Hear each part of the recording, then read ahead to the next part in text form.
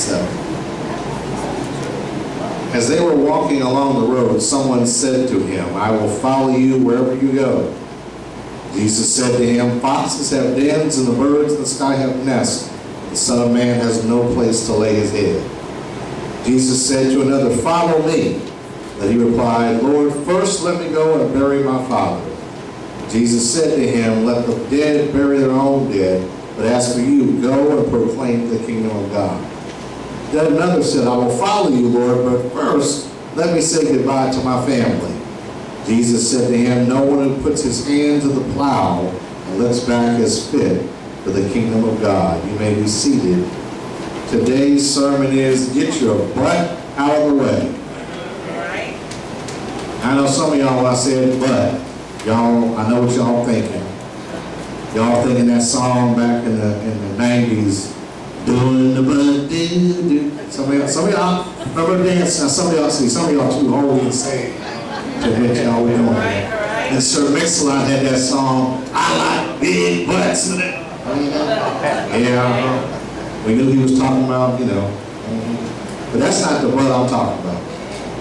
I'm talking about a different kind of butt. This this butt is a conjunction. I remember the song Conjunction, Junction, what's your function? Picking up words and phrases and clauses. I mean, y'all remember that? It's a conjunction. And I, I checked with my, my favorite teacher, Sister Martin. And she told me a conjunction is a word that joins together sentences, clauses, phrases, or words. It is used to introduction, introduce a statement that adds something to a previous statement and usually contrast it in some way. The word but tells, tells you that what you said right before the but doesn't really count. It's kind of like, I love you, but. Now, if you hear that from somebody, what's the next thing you're thinking? Oh, here it comes. Right? But if someone says but, that means that what they said right before the but is connected, but it has nothing to do with it. It's contrasting. It's a conflict there. So we need to understand that we need to get our butts out of the way. See, we must understand there's a cost to follow Christ. See, some of us think when I get saved, I just get saved, and if I come to church, I'll be successful.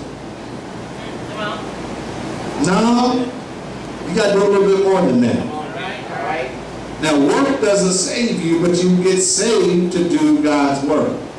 Amen, somebody. Amen. You get saved to represent God everywhere you go. And God brings success because you're representing Him well. So when we look at our text, we have Jesus talking to three different people. And, and, he, and he, he approaches each of them in a different way. If you listen to it, it sounds hard, but when you think about it, you understand where he's coming from. The first person says, I'll follow you everywhere. And Jesus goes, I don't have any place to lay my head. What he was saying was, there is no place I, I can go and find peace from my persecution and my suffering. No place safe. What he was telling their followers, if you want to follow me, you're going to have to go through what I go through. And he knew this person's heart, that's why he said it. See, Jesus, when he said stuff to folks, it wasn't just an off-the-cuff remark. He knew that person's heart that they weren't willing to go through that. I will follow you, Jesus, but it has to be comfortable. I follow you, Jesus, but I have to be able to do what I've been doing. I follow you, but. The second person, he said, you know, um, I need to bury my father. Now, this is the highest duty for a Jewish person to, to, to bury the father. It was an honor. You know, the, the, the, we, we look through the commandments, and what was the first commandment promise? Honor your mother and your father. Today's may be long upon earth. So he's trying to say, well, you know, let my dad die first, and let me bury him, and then what I'll do is I'll follow you. But Jesus said that for my sake and for the kingdom's sake, I have to take precedence over everyone. He even said, you can't follow me unless you hate your mother and your father. And what? Because if you love them more than you love Jesus, you're not following Jesus. See, again, that, that's it. That's it. He, he was saying, when folk are spiritually dead, you let the spiritually dead take care of them. You take care of my kingdom and do what I told you to do. Follow you, Jesus, but I have things I need to do first. Come on now. The third person we get to, he said, I need to go say goodbye to my family. I need to go tell them goodbye. I need to go over, you know, Pookie and them and say goodbye first. I need to talk to Sancho and them and say, I, you know, I got to go Jose and them, you know, and Shaniqua and them. We got, I got to say goodbye to my homeboys and homegirls and let them know I'm leaving to follow. And what Jesus said is, no person puts their hand to the plow and then looks back is worthy of the kingdom of God. How many folks, see nowadays we have tractors and stuff to do all that. But back in the day, when you were plowing the furrow, how many of y'all know what I'm talking about? You had to hang on and you had to guide the plow to make sure your furrow was straight. All right. And if I look back to see where I've been, what's going to happen to the plow? It's going to get all off track. Then I'm going to have not a straight line, I'm going to a messed up line. When you decide to follow God, you can't look back to what you used to be and what you used to have. Lot's wife looked back and turned into a pillar of salt. She was told, don't look back to where you came from. And basically what it was saying is, you can't go further than God if you keep hanging on to what you used to have to do. God will follow you, but. See, we spend our time doing too many things. God asks us to follow us. He promises to bless us. And then we wonder, man, why is God oh, not opening doors? If God hasn't opening doors for you, ladies, it's probably because you need to get your butt out of the way. All right, all right. See, here's the problem. This is what we say to God. God, I will trust you, but. God, I will stop, but. God, I will go, but. God, I will forgive, but. God, I will love, but. God, I will stop smoking weed, but. God, I'll start, stop snorting cocaine, but. God, I will stop lying, but. God, I will stop fornicating, but. God, I will stop cheating, but. God, I will stop procrastinating, but. God, I will use my gifts, but. God, I will sing, but. God, I will accept my call to ministry, but. All right, all right, all right. Now, How many of your blessings are you blocking because you won't get your big fat butt out of the way? Uh, all right, all right. God wants us to do it His way. He wants to revive the church. He wants to have His very presence. See, when we read the book of Acts, that wasn't unusual. That's what God wanted to happen in church.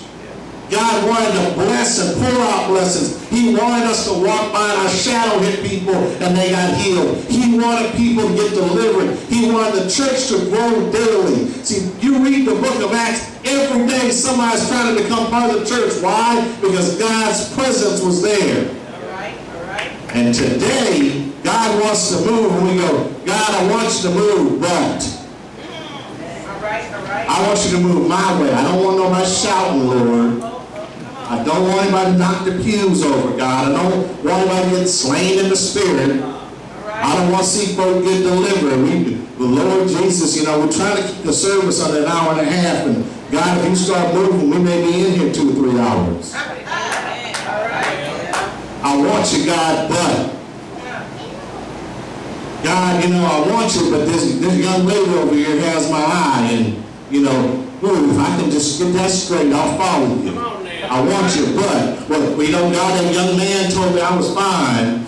And, you know, I'm trying, you know, I want to I wanna have somebody because I don't want to be alone. So I'll follow you, but I got to get that straight. Hello, somebody. Right, man, right. We want God to move. We say we want God in our lives. We say we want God, but we get our butt in the way. Mm, man, right. And if we really want God to move, we got to get our butts out of the way. We have to follow him unconditionally. We have to say, God, I'm going to follow you and watch the success from. Did, didn't he say that he would do that? Didn't he say that? He said, I'll supply all you need according to my riches and glory. He said, it ain't about you. I got this. I own the cattle on a thousand hills. This is my world. Just follow me. We say, okay, God, Lord, I'll follow you, but we got to stop doing that, church. John Wesley, the founder of Methodism, was talking to a preacher who was talking about his lack of faith, and he said this to him, preach faith till you have it. And then because you have it, you will preach faith. He said, preach faith until you have it. Mm-hmm. And then when you have it, you'll be able to preach faith. In other words, we've got to stop looking around going, well, you know, I don't have this. I, you know what? Start speaking it and you'll have it. Start speaking faithfulness to God until you have it. Start speaking success in God until you have it. Start speaking prosperity in God until you have it. Start speaking faith in God until you have it. Start speaking healing until you have it. Start speaking deliverance until you have it. Get your butt out of the way. God wants to move. And we've got to move along with him. We want our children to follow God. Let God move in your life. And let them see God move so they know that they can depend on God. You want relatives to come to church? Let God move in your church. People will come. Charles Finney said, if you want to get folk in your church, set yourself on fire and everyone will come watch you burn. Stop saying what to God. Get your butt out of the way. Stand to your feet. Amen.